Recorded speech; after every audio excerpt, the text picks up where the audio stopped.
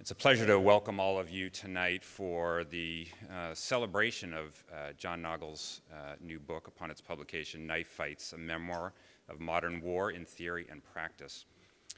Now, if you've come to CNAS events before, or if you've read our publications, then John's work is no doubt very well known to you. Uh, he was the second president of CNAS and has left uh, very large shoes that I've been attempting uh, to fill since then. Uh, and he now serves as the ninth headmaster of the Haverford School in Haverford, Pennsylvania, and he's a visiting professor at King's College in London. John's book uh, I saw in, uh, uh in, pub, in, proposal form uh, quite a while ago when he was thinking about doing this, and I have to confess it in the back of my head, uh, even just a few months ago, I thought, I mean, a book on the Middle East and Iraq and counterinsurgency and terrorism and, and and all of this, you know, how could this possibly be relevant for the day? But um, he has, shall we say, impeccable timing uh, because the lessons that he's drawn in uh, Knife Fights uh, have really some direct uh, applicability to all of the questions that, uh, that our country is, uh, is wrestling with today. The book draws on John's extraordinary accomplishments as one of America's finest warrior scholars. He was a 1988 graduate of West Point. He went on to Oxford, where his doctoral dissertation on counterinsurgency uh, was later published as uh, Learning to Eat Soup with a Knife. Uh, he served as an Army tank commander in the first Gulf War and returned to Iraq with the 1st Infantry Division after the 2003 invasion. He was tapped to work at the Pentagon for Deputy Secretary of Defense Paul Wolfowitz and then by General David Petraeus, uh, with whom he wrote the now legendary Counterinsurgency Field Manual.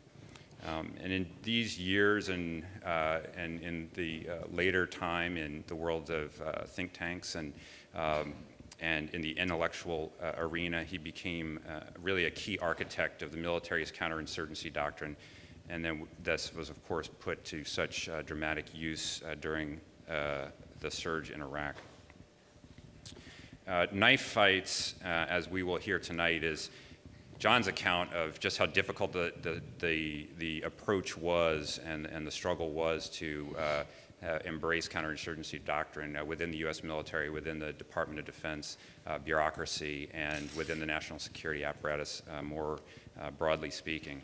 And to draw out some of these lessons and to also look at their applicability to today, we have joining John, um, Steve Inskeep, the host of National Public Radio's Morning Edition. Steve uh, has reported on and written on an array of foreign and national security issues from locations as varied as Karachi, Cairo, Baghdad, and Tehran. He's the author of Instant City Life and Death in Karachi, and he's well known for his unique way of drawing out deep meaning and fast breaking news. Following their conversation, uh, John will be signing uh, copies of his book uh, if he has not signed uh, your copy already. Um, but before he does, uh, please allow me to turn the microphone over to Steve Inskeep and John Nagl. Thanks. All right.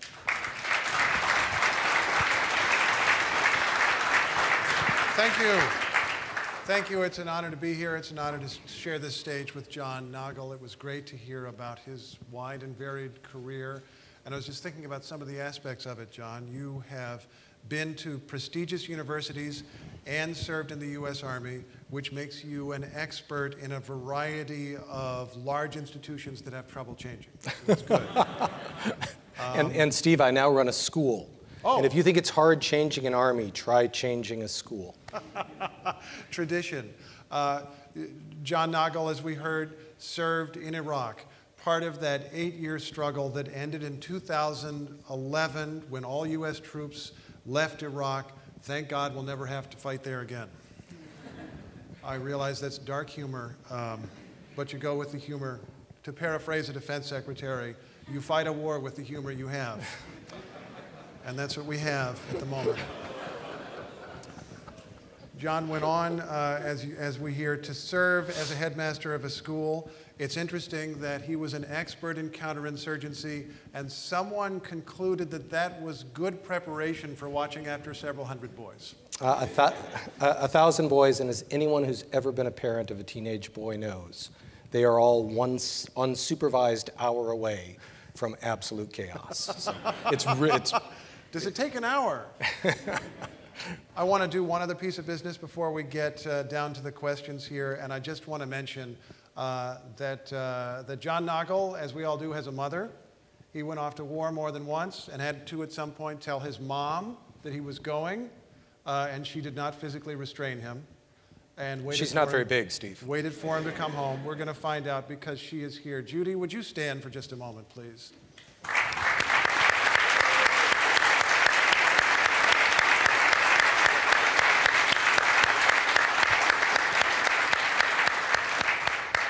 Thank you for what you've done. You write in this book um, that we are likely going to be, for some time, in an age of unsatisfying wars. What do you mean and why do you think that?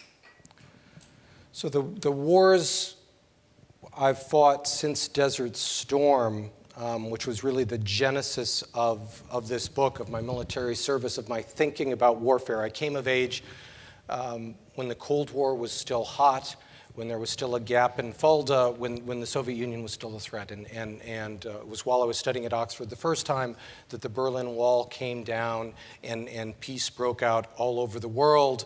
And then Saddam Hussein invaded Iraq, and maybe peace hadn't quite broken out. And, and I, I participated in Desert Storm, which, which may be the last of the great tank battles. And, and it was a, a, a, an unsettling, a fascinating, an invigorating experience to be young and to participate in that kind of war. But it, it also seemed to me, between the end of the Soviet Union and, and the very rapid demise of the fourth largest army in the world at the hands of the American military with some Allied uh, help, it, it seemed to me to indicate a, a real watershed in the history of conflict. That is, no one in their right mind would take on the United States again in conventional frontal combat, given what they'd just seen. So uh, I believed that, that future enemies of the United States would look at how the Vietnamese, the North Vietnamese, the Viet Cong had taken us on, not a- at how uh, the Iraqi army had, had um, so unsuccessfully attempted to challenge American military might. And, and so I, I started thinking then about asymmetric warfare, about enemies who would avoid America's strengths and attack our weaknesses, would use their cultural skills, their language knowledge, their, their tribal um, basis of society, improvised weapons to uh, defeat the greatest military machine the world has ever seen. And, and the, the good news, I guess, is I was right, and the bad news is I was right. And, and the wars I fought after Desert Storm were those kinds of wars. And I, I think the world has, has seen the lesson very clearly that you can, in fact, attack America's most vulnerable point strategically, its national will to continue a fight. Uh, by fighting asymmetric, prolonged, irregular wars.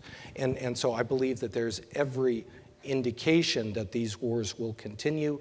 The, the, um, they continue today. Um, Steve has already mentioned the one in the war in Iraq, but Peter Beinart has a good piece in the Atlantic Monthly on Afghanistan, the ongoing war in Afghanistan. And he hopes that the lessons of the mistakes we made at the end of the Iraq war are not repeated in Afghanistan, that we do not again, as is currently U.S. national policy, pull all American troops out of Afghanistan at the end of 2017 because the Taliban is waiting to come back, is waiting for that opportunity. And, and if we have, and I'll stop here, but if, if there is a guiding principle of American national security policy in the wake of September 11th, it is not to yield territory to terrorists in which they can plan, prepare for, and from which they can conduct operations against the United States and our allies. Right. We, we've failed that in Iraq right now, and we're fighting back against it. I very much hope that we don't make the same mistake in Afghanistan. You said uh, mistakes at the end of the Iraq War. You referred to withdrawing all U.S. troops. We could argue about whether it had to be done or did not have to be done, but you felt it should not have been done. Was that the only mistake at the end of the Iraq War?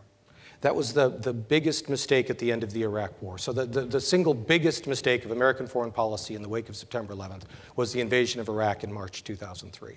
An unnecessary war uh, fought, I, I, don't believe, on contrived um, information. I think that the, the, the people putting the case together were uh, were scared, uh, had felt that they had missed something on September 11th, and, and were, were putting together a worst case scenario. Uh, but uh, there was no reason that deterrence could not continue to work against Saddam Hussein, even if he, if he had weapons of mass destruction, uh, an, an extant WMD program in 2003, as we thought he did. So that was the worst mistake, was the invasion of Iraq in 2003 didn't need to be done, and if it was going to be done, should have been done much better than it was. If we planned to topple the government of Saddam Hussein, we should have had a plan for what we were going to do once we accomplished that objective. That seems almost prima facie obvious.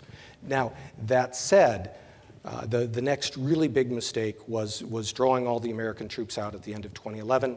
Uh, it was in this room as, as my first. Um, uh, my first uh, CNAS annual conference as president in uh, uh 2009 when Brian Burton and I wrote a paper arguing uh, titled After the Fire that, that argued that the United States needed to maintain a long-term security presence in Iraq of some 20 or 25,000 to add a spine to the Iraqi army, to provide political leverage against the Iraqi government, to, to guard it against undue sectarianism, and, and um, I, that, that, that paper looks really, really good. Five years later, we failed to follow those precepts. Much smarter people than me and Brian saying that. Go ahead. The, the most amazing thing you just said was that part of the reason to keep U.S. troops in Iraq was to provide a political lever against the Iraqi government. Correct. So, so uh, American troops are not just a security guarantee, they come with political leverage. The, uh, governments, particularly governments under threat, want the resources, or prospective threats, want the resources that, that come with American soldiers uh, access to intelligence, um, access to air power, uh, logistics support, technical expertise, but, but also the attention of the US government, and, and uh, they, they, they don't want to lose those resources. And so the presence of 20,000 Americans in Iraq, I believe, in 2012 from 2012 until now would have, would have pushed Maliki away from Prime, Iraqi Prime Minister Maliki, a Shia, away from his worst sectarian influences. Uh, General David Petraeus, Ambassador Ryan Crocker used the presence of American troops, used their leverage to, to do just that when we had 150,000 troops in Iraq. We would have less leverage with 20,000, but we would have had infinitely more than we, than we ended up having. And a big part of the reason for the success of ISIS in Iraq has been uh, the, the um, sectarianism of the Iraqi government over the past two years, two and a half years, and the fact that the Sunnis no longer trust the Baghdad government. Okay, let me ask about unsatisfying wars and that current war that you're just discussing. Um, we're being warned it's going to be an unsatisfying war. No easy options, no quick options, no uh, no dramatic change in the situation, could take a long time, uncertain outcome. Does it have to be an un- unsatisfying war? Do we have to plan for that? Um, we shouldn't be planning for it as, um, uh, as poorly as we are right now. So, um, the president has been, uh, the, so the, the other mistake in between, the big mistake was the invasion of Iraq 2003. Smaller but, but grievous self inflicted error uh, was, was pulling all the troops out, at the end of, out of Iraq at the end of 2011. The next mistake was not arming the moderate Syrian rebels in the summer of 12. That one's a tougher call, right? The, the CIA has just released a report indicating correctly that um, uh, rebel groups uh, often fail, that, that you, even U.S. support for rebel groups uh, does not, in the absence of active U.S. troop engagement and support, does not often succeed in overthrowing governments. So I'm, I'm um, not drawing nearly as, as bright a red line, as it were, uh, around not arming the Syrian rebels. But, but um, the, those, those three errors, I believe, got us to where we are today. The error we're making now, the president has correctly stated, has correctly assessed the threat uh, presented by ISIS, uh, not just uh, to Iraq, not just to Syria, but to the broader Middle East and ultimately to the United States. And, and so he has correctly stated, put out a goal for uh, not just the US military, the US diplomatic service, the US foreign policy machine of, of uh, defeating and ultimately destroying ISIS. He's absolutely correct in that. The problem is he is not providing the means required to accomplish that objective. And so, unless the, the, the president steps back from his no boots on the ground promise and embeds American special forces teams, American combat advisors inside Iraqi frontline battalions and brigades, they are not going to be able to push ISIS back in any kind of reasonable time frame. And there's some urgency to this because ISIS is within artillery range right now of Baghdad International Airport. We, as General Dempsey said over the weekend, we can't afford to give up that airport. We need that airport. A- And so there's some urgency to this. Um, there's a, and there's a, a basic ends means strategic mismatch that, um, um, that you don't have to work at CNAS to appreciate. Is it um, a small lack of resources or a huge one?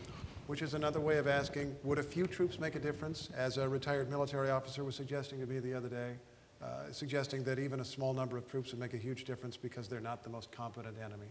Or uh, is it actually a very large presence that would have to be talked about? So I, I- think the total number of troops we're talking about uh, still aren't very different from the, the number that Brian Burton and I wrote about five years ago, talked about 20, on this stage, 25,000. 20 to 25,000, right? So uh, uh, we, we currently have about 1,600 troops, 10 times that number would, I think, uh, increase the performance of the Iraqi army by two or three times. And as you just noted, the enemy they're facing is not particularly skilled, is not uh, particularly uh, well equipped, uh, is at the end of a long supply line. And, and so I believe that, that with the presence of those advisors in a relatively short period of months, we could turn this thing around and, and push ISIS back to, this, to what used to be the border between Syria and Iraq. Right now, it's now sort of a, a, a figment of our imagination.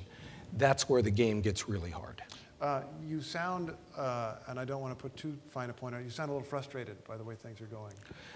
Do you think you reflect a widespread opinion I, I, I have, I have no doubt that I reflect a widespread op- opinion. among specialists and among serving? Among specialists, among serving officers, among those who fought for this ground in Iraq. So um, uh, I was stationed in, in Al Anbar province of Iraq from, from uh, September 2003 to September 2004 in a town named Khalidiyah, a lovely little town uh, between the also lovely, slightly larger towns of Ramadi, the provincial capital, right, where fighting is, is going on right now, and Fallujah, uh, uh, also a lovely town of which you may have heard. Right? So it's a pretty nice neighborhood. Um, we, we fought enormously hard for every square meter of that ground. We fought against people we couldn't see, enemies we had not been trained to identify, uh, and, and we took very heavy losses while we were doing that. It would have taken very little to have kept that ground for the Iraqi government, that the United States, that the American taxpayer, that our children, right, uh, because we put this all on the credit card, are, are going to, to, to pay for for the rest of their lives, right? We put well over a trillion dollars, 5,000 American lives, well over 35,000 wounded, many of them grievously, uh, into building that government in Iraq once you've made that investment, right, a, a very small additional investment means that you don't have to go back and fight for that ground again. And, and I am absolutely confident that my friends, people I know, will fight for that ground again. Some of them will be hurt doing it, some of them may die doing it. And that didn't need to happen. To,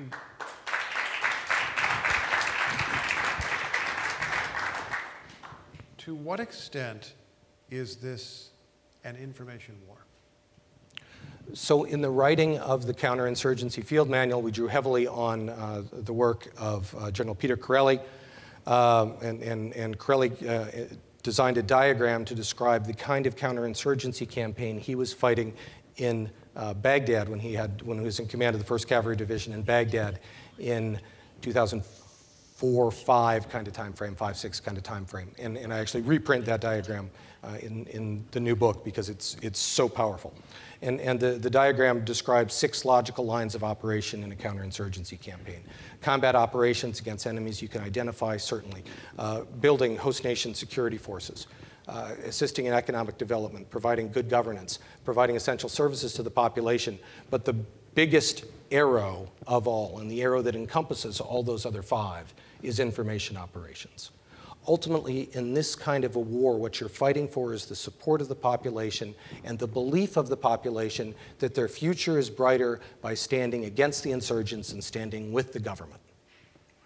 And, and so, what we failed, where the counterinsurgency campaign failed late in the game in Iraq, was after we withdrew all the American troops in 2011, when the Maliki government um, quite spitefully uh, uh, neglected, ignored, maligned, persecuted the, the Sunni population of that country.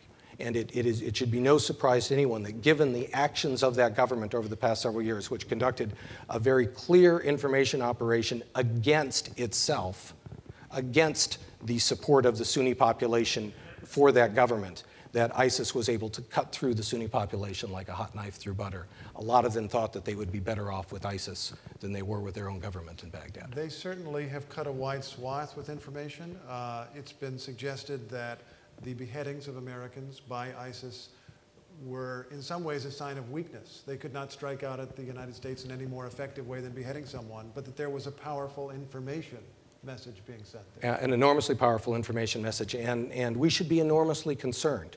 ISIS was thrown out of Al Qaeda for being too violent. ISIS is the hot ticket, it is the startup, it is the entrepreneurial uh, uh, terrorist jihadi organization in the world right now. It is attracting jihadis from all over the world, uh, including uh, young girls from England, right, are, are, are flocking to this jihadi banner. An extraordinarily effective information operations campaign. And, and the, the thing that we should, the, the, the single most worrying um, part uh, of, of that for uh, Homeland Security uh, operators is that an awful lot of those people have Western passports. They're going to be enormously difficult to find and catch in the net on the way back home. And, and so, in, in some ways, what ISIS is doing is recreating what, what the, the Afghan Mujahideen created uh, in the 1980s in, in, the, in the US supported war against the Soviet Union after its invasion of Afghanistan. It created Jihad Central. And, and uh, ISIS is essentially Jihad Central today.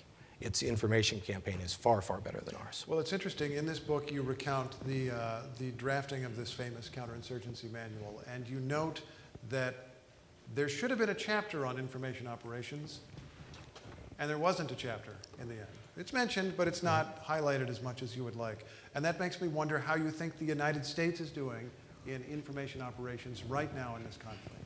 So, the, the um, single biggest flaw of the US government as a whole in the last 15 years of war against, um, uh, against radical Islamists has been the, the failure to create uh, an effective information operations organization and conduct effective information operations.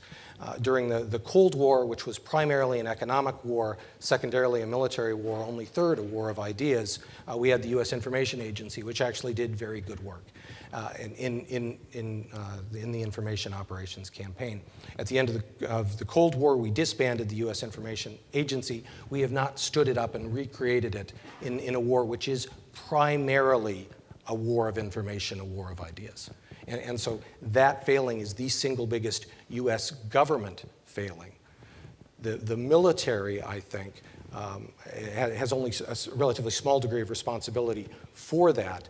The, the military's big failing has been the failure to properly focus on building the capability to train and advise foreign military forces, which, as the current events in Iraq demonstrate, uh, are likely to be, I think, the most often employed and most useful instrument of American military power uh, over the, the, the, next 50 years. Well, help me out with that uh, as a layman, because one way that I could read the news of the last several months is that the United States spent years and years and billions of dollars building up an Iraqi army, and as soon as they were left alone, they fell apart, which would imply that the money was wasted, was it? Much of the money was wasted. Um, much of the economic development money was wasted. Much of the um, much of the money we spent sending American troops improperly trained for counterinsurgency was money that was wasted. And an awful lot of the actions many units took, including some actions my own unit took in Al Anbar in 03, 04, exacerbated the insurgency rather than tamping it down. So, so uh, the, on the macro scale, the, the, the, trillion dollars, perhaps two trillion dollars we spent, uh, much of it was in fact wasted. The money we spent training, equipping, raising the Iraqi army allowed the United States to depart Iraq in 2011 with an Iraq that was reasonably stable, reasonably democratic, right? And, and that, that the President of the United States and the Vice President of the United States proclaimed as an American success story. It seems so very long ago, right? But what they failed to do um, was, was having made that enormous investment, made the continuing investment, essentially a life insurance policy, to, to uh, rein in the, the sectarian influences of, of the Iraqi government, the Shia dominated Iraqi government, and continue to help standing up that Iraqi army. And, and um, my, my first book, uh, uh, Learning to Eat Soup with a Knife, from, from the T. Lawrence quote that war and rebellion is messy and slow. These are long, slow, hard, unsatisfying wars. But let us remember that after the Second War, the Second World War, the Good War, right, we still have American troops in Germany, Italy, and Japan. We still have American troops in Korea. We don't have American troops in Vietnam because we lost that one, although they'd love us to station an aircraft carrier in Cam Ranh Bay right now. We still have American troops in Bosnia. When, when it is important enough, when an issue is important enough for the United States to send its ground forces and have them lead on that territory, it is important enough for the United States to continue to leave a few of them there to keep everything pointed in the right direction. This is what empires have done since the Romans. It is what the United States has to do uh, in, in order to prevent a third Iraq war in my lifetime, which is what we're seeing now.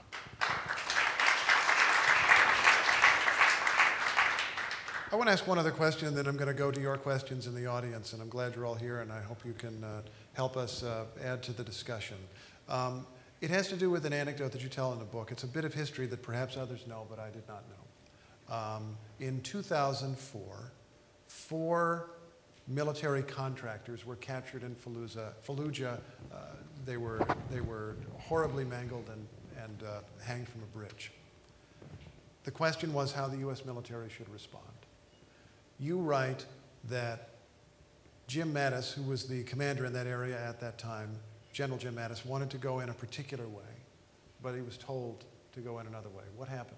So, uh, General Jim Mattis, uh, probably the greatest fighting general of our generation, uh, was then the 1st Marine Division commander, the 1st MARDIV commander. A remarkable man. He made the motto of the 1st Marine Division no better friend, no worse enemy, first do no harm. And, and so when you've got a Marine two star who understands that, um, th- that you can do damage while conducting military operations and that that can be counterproductive, that you've got, you've got a, a, a remarkable man, which he is. And, and uh, there's a reason that Mattis and Petraeus worked together on the Army Marine Corps counterinsurgency field manual, not the way we usually just because the Army and the Marines fight the same enemy in the same places with the same equipment at the same time, often on the same ground, doesn't mean they actually talk to each other about how to do it, right? so, so, so the, the, the fact that, that Mattis and Petraeus, pretty good work there. Well, what Mattis wanted to do was, was, a, a um, was practice counterinsurgency. He wanted to gather intelligence on who the individuals were who had killed those four Blackwater contractors, and then he wanted to do fairly precise raids to, to bring those people to justice, right? He, he was told that that was not an option and was told to assault Fallujah with everything the Marine Corps had. And um, that decision, made well above General Mattis's head, did the unbelievable, what, something I could not have believed could be done. It united all of Iraq behind a single idea kill every American here. Right? And, and so the, the Shia now, as well as the Sunni parts of Iraq, united against us during the siege of Fallujah, the first siege of Fallujah in uh, early 2004, April of 2004. Uh, bridges were dropped. We went on short rations. It was, we came as close as we ever came to losing the war in Iraq in 2004 as a result of that decision.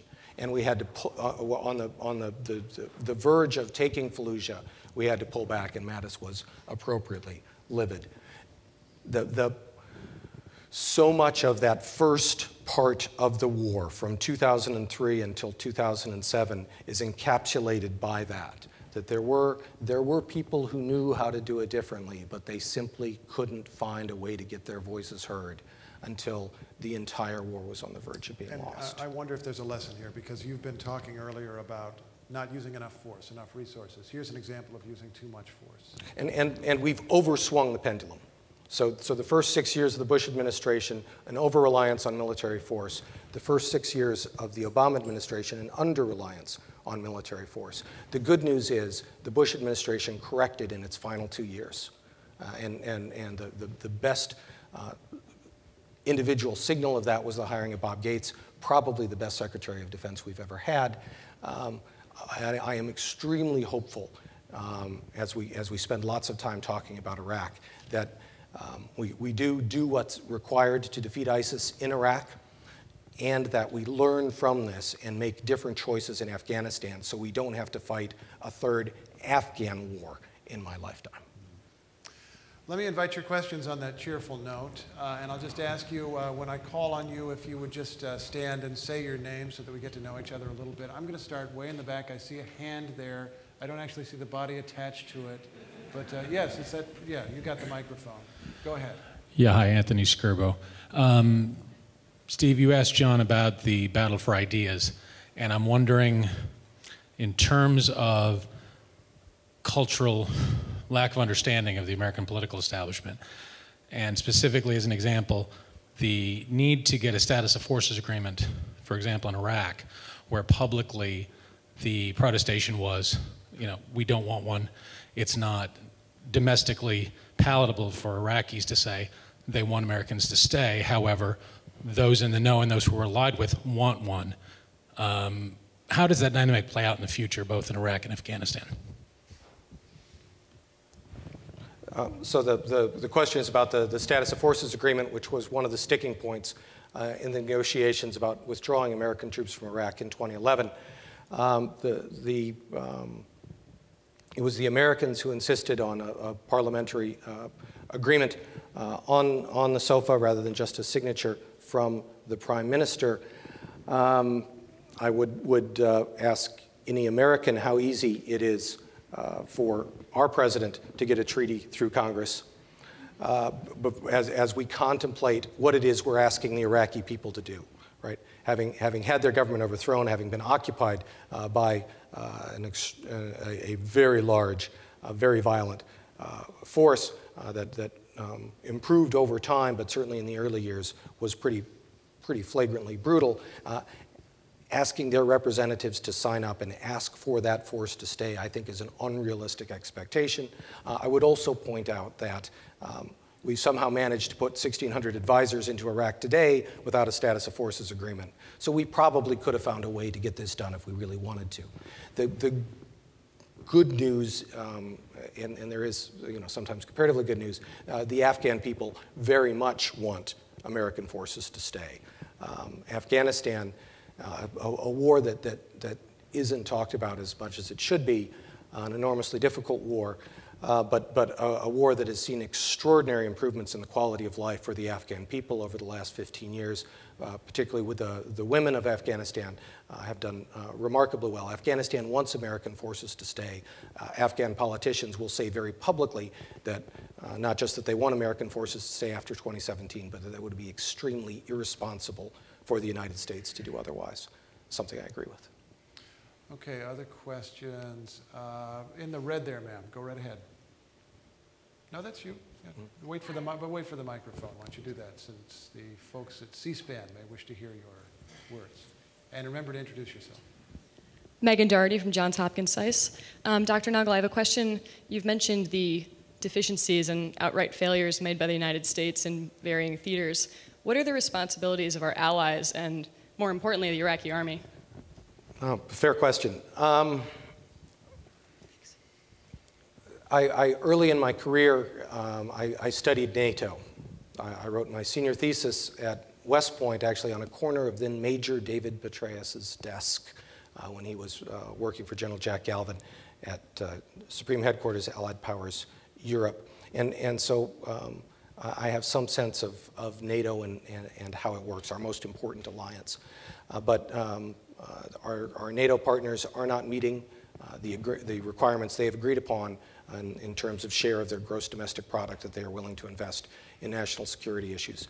Uh, very close allies uh, like Britain, a country I love dearly, a country where I spent four of the happiest years of my life, uh, is, is essentially taking itself off the table as a great power, essentially unable to present to project power internationally as a result of the, the um, choices it's made economically.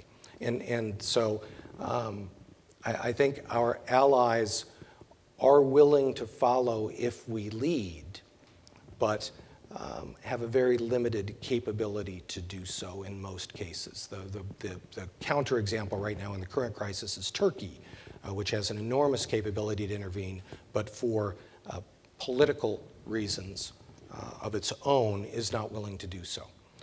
The Iraqi army um, has lost um, the, the, the, the um, it is easy to, to um, point at the mistakes of the Iraqi army, our, our, our uh, Iraqi allies, um, but, but they have paid an enormous cost in blood. The, the stories of their fight against ISIS have been heartbreaking.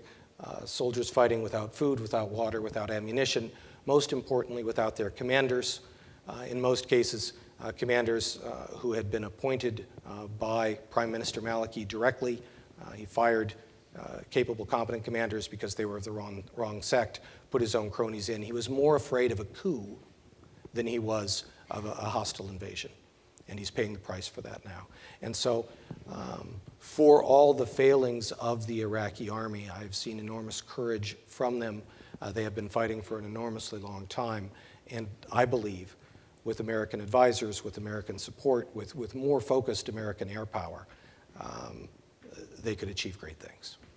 Let's get somebody from this side of the room. Okay, right over there, sir. Go ahead. Uh, the, the one with the two fingers up. That's, that's fine. Oh, okay, Hi. that gentleman is also fine. Go ahead. No, it's good. It's okay.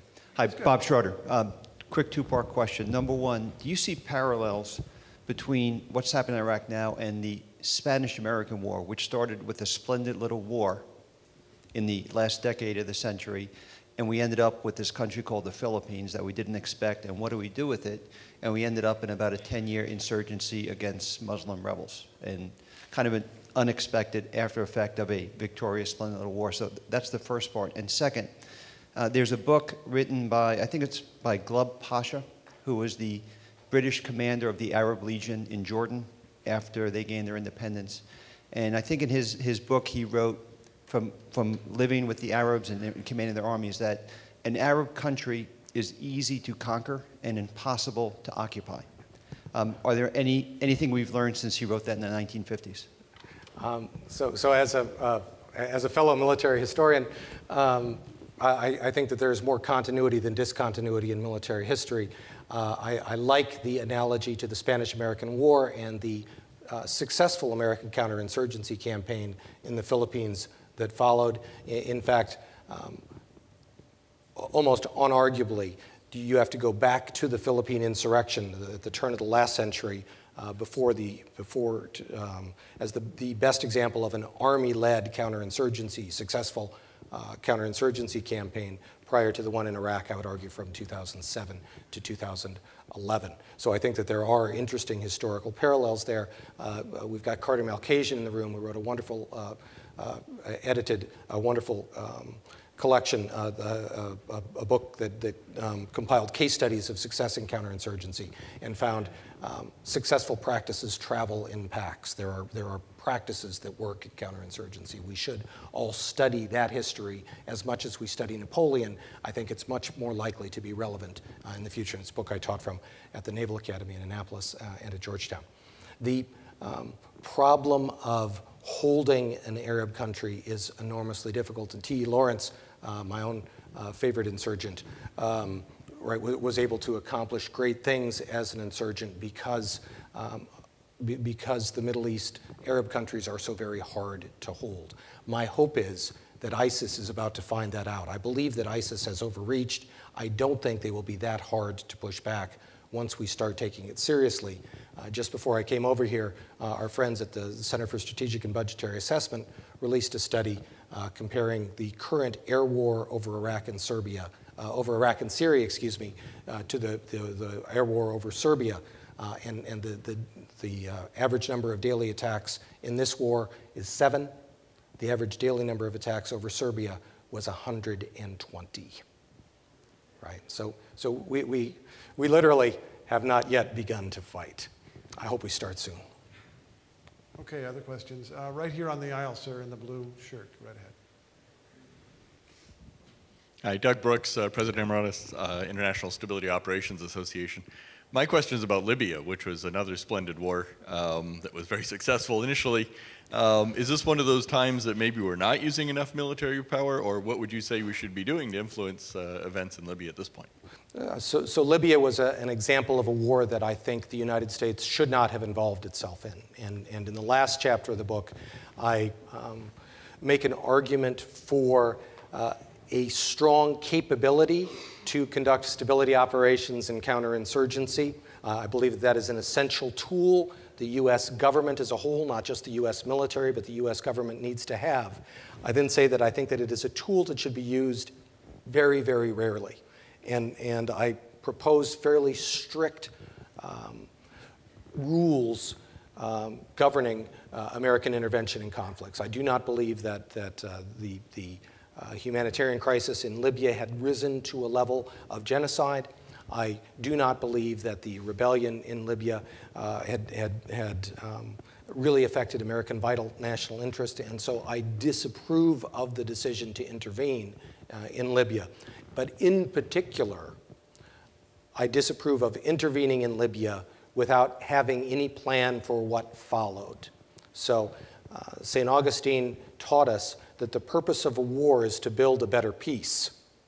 Don't fight the war if you don't have a plan to build the better peace that follows, and if you don't understand that that's a generational task, and it's going to require American boots on the ground for a generation.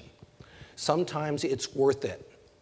If you are brutally attacked from Afghanistan right, by Al Qaeda and the Taliban won't hand them over, right, then you have a responsibility, I think, to overthrow the Taliban, and then having overthrown it, a responsibility to create a better country there that will never again harbor international terrorists. But that is the, that is the only war right, of, uh, um, of the, the 21st century that I believe was necessary until now, this third war in Iraq.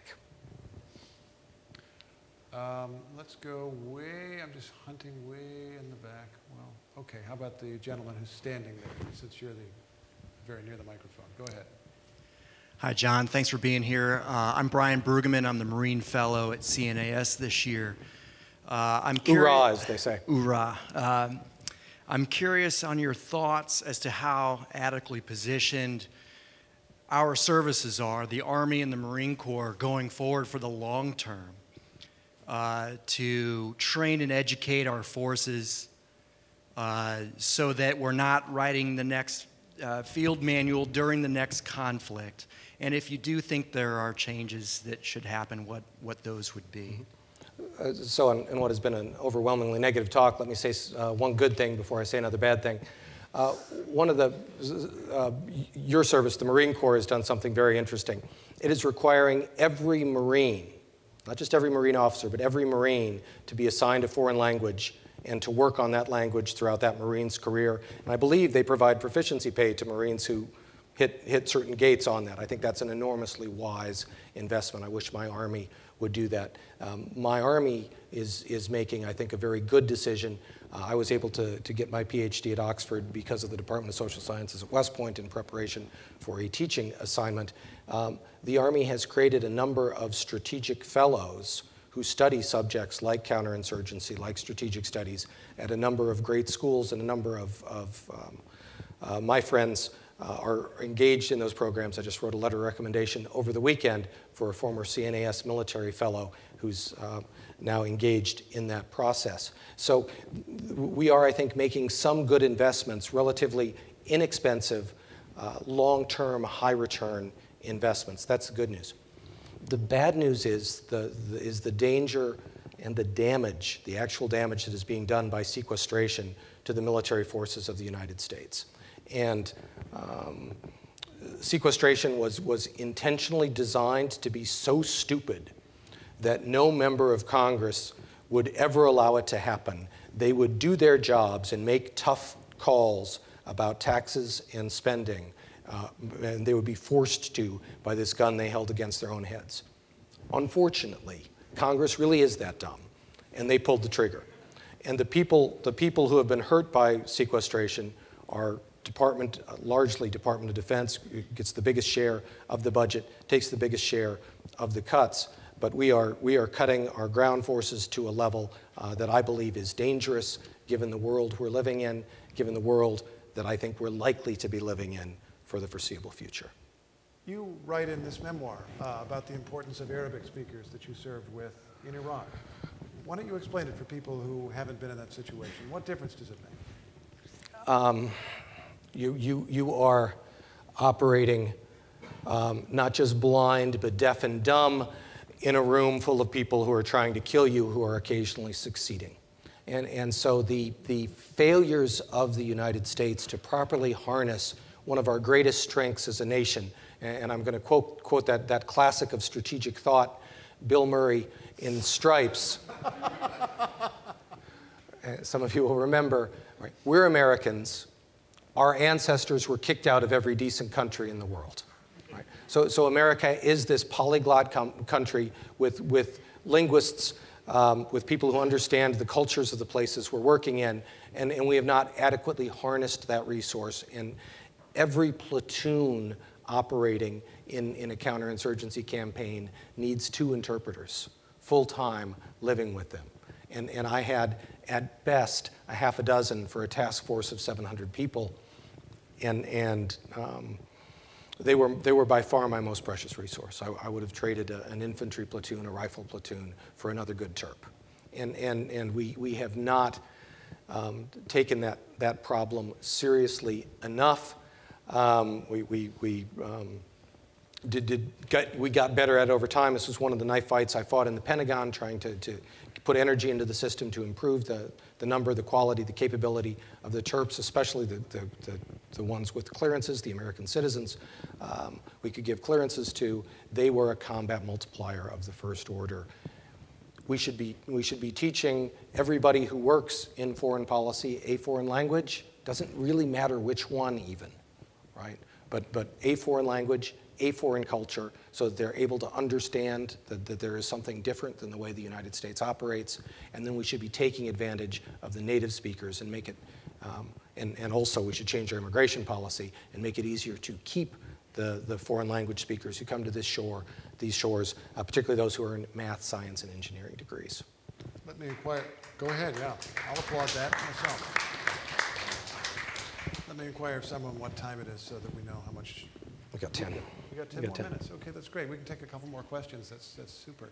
Um, right here, ma'am. Uh, yeah, in the white shirt. Yeah, go ahead. Hi, There Chris. should be microphone throwing skills that are learned. for But these then I events. need They would microphone speed them up. catching Yeah. skills. Oh, that's true. Uh, Kristen Lord from IREX. Uh, John, you may have seen the New York Times report earlier this week saying that President Obama instructed the CIA to do a longitudinal historical case study seeing, to see wh- when the U.S. had supported foreign insurgencies and if that had been successful over time. The conclusion, allegedly, was that no, this hadn't been a successful practice, with the marginal increase in success if there were some boots or advisors on the ground. This apparently was very influential in informing uh, President Obama's reluctance to support the Syrian opposition. What's your reaction to the CIA report, and do you think they got the history wrong? Do you have a different reading? So uh, the, the questioner, Dr. Dr. Kristen Lord with Nate Fick, uh, who's, who's uh, over here. Uh, Kristen, Nate, and I ran CNAS 2.0 together, uh, and uh, wonderful to have so many CNAS veterans, alumni here in the room. Thank you, Dr. Lord, for your service keeping Nate and I, uh, if not on the straight and narrow, at least out of jail. Um, most of the time. Um, the, the, the CIA report, I I think, was, was correctly cautionary. The question is whether Assad was bad enough that, that it was in a U.S. vital national interest to attempt to overthrow him. And, and um,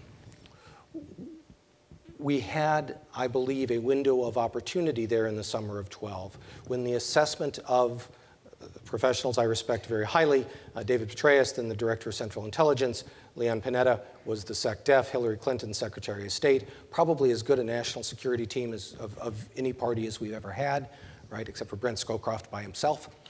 Uh, of, of a phenomenal, right, a, a phenomenal team who looked at, at the, the costs and benefits, the likelihood, and, and, and made the assessment. And, and um, these are high risk operations. They, they do not often succeed. The more support we put behind them, the more likely they are to succeed. And so it's a, it's a question, again, of how important this objective is to us, and are we willing to put, uh, even if it's loafers on the ground, if it's CIA agents who, who do wear boots in the field, uh, uh, right, uh, but, but have a, a, degree of plausible deniability that soldiers do not. So um, I, I don't disagree that this was a high risk option. I did believe that it was a risk worth taking at the time. I continue to believe uh, that had we done so, and in particular, had we done so while uh, maintaining a much more capable presence on the Iraqi side of the border, that we wouldn't be in the mess we're in today. But, I, I but these are hard choices, as, as somebody's uh, memoirs uh, uh, just said. Um, it is, um, and I, I, I, said earlier, this is not as clear a case for me by any means as was uh, the decision to pull all American troops out of Iraq at the end of 2011. That one I'm very comfortable saying was a mistake. This one I'm, I'm more dubious about. I'm, I'm less certain. Even setting aside the CIA study, we could mention that there was a public study by a couple of academics published earlier this year looking at a century of uprisings and found peaceful uprisings far more successful than violent uprisings and that even when violent uprisings succeed, they often lead to chaos. It does seem like the odds would be very long in Syria, would they not? I, I think that that's accurate. I, I also think um, it's an important subject to be studying because for many reasons we are likely to see far more uprisings over the next 50 years than we have even over the last decade. So the, the uprisings of the so-called Arab Spring are not a coincidence, right? They're, they're engendered in part by the energy put into the system uh, by the invasion of Iraq and by the, the uh, subsequent war, but also the, the power of information technology to, to uh, allow people to peaceably or not peaceably assemble against a government. And, and of a, uh, they provide an ability for uh, a people to understand more easily how bad their governments are. And, and so I, I, predict as climate change continues, as uh, population pressure continues to increase, as resource scarcity uh, continues to rear its ugly head over the next 30, 40, 50 years, um, we are going to continue to see uprisings, uh, violent and nonviolent. Some will succeed, some will fail. In some cases, we will want them to succeed, as against Assad. In other cases, we will want them to fail, as uh, against the Baghdad government. And so it is incredibly important that we learn the lessons of the last decade of war, that we um, not intentionally burn the books about counterinsurgency as we did after Vietnam. Especially and that we, not this one, by the way. go on, go on. And that, and that we um, make more careful choices about when it is in America's interest to support or not to support these revolutions. Um, I jokingly asked uh, at the beginning, or referred at the beginning to the fact that you had counterinsurgency training and then went off and ran a school. This may sound like a joking question, perhaps it is, perhaps it is not.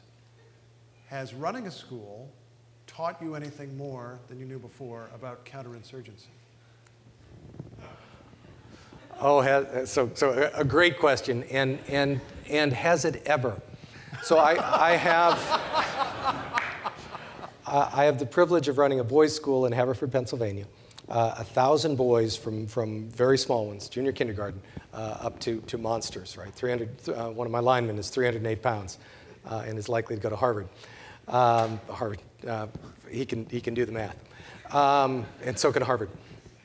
Um, the boys have a, a, a, wonderful brotherhood, and they call it that, um, composed of the, the long bonds they've formed over, over literally 13 years. This becomes, the, the Haverford School becomes the most important institutional affiliation of their lives.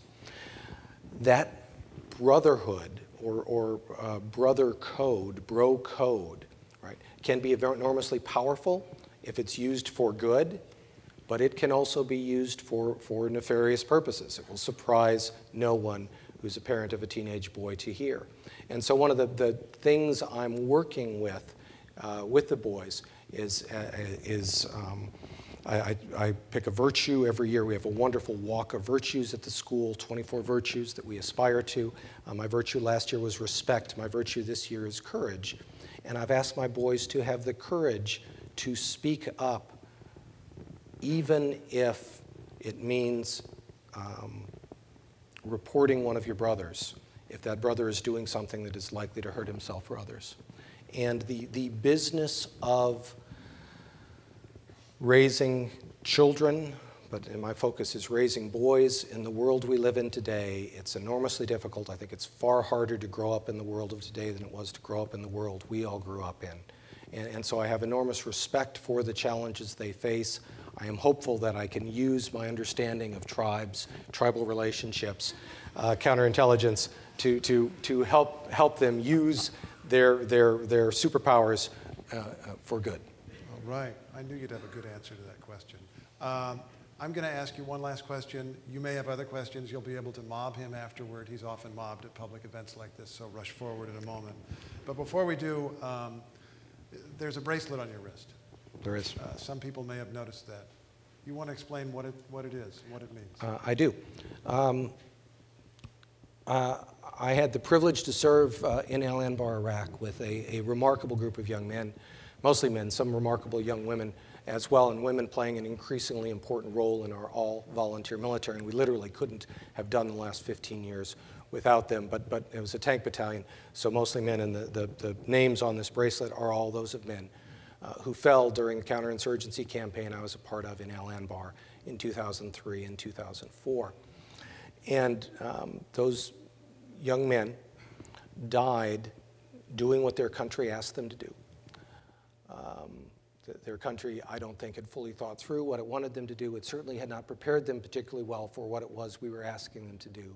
But they made absolutely heroic efforts to do uh, what they believed their nation wanted them to do. And um, I, I um, wear this um, on occasions like this to remind me of them uh, and to feel enormously fortunate to be able to be a voice for them. Uh, and, and to remind audiences composed of, of, people like you, mostly national security folks, to remember uh, those young men who pay the prices for the mistakes that our government makes, right? And, and to remember to take care of, of as, as our greatest wartime president said, of the widow and the orphan, and of those who come back with invisible wounds, as Yochi Dreazen talked about, I believe, in this room just last week. We all have an enormous responsibility, having sent them to war, having asked them to do something for us, to take care of them when they come home. So. John Nagl, please stand. stand. Congratulations. Well done.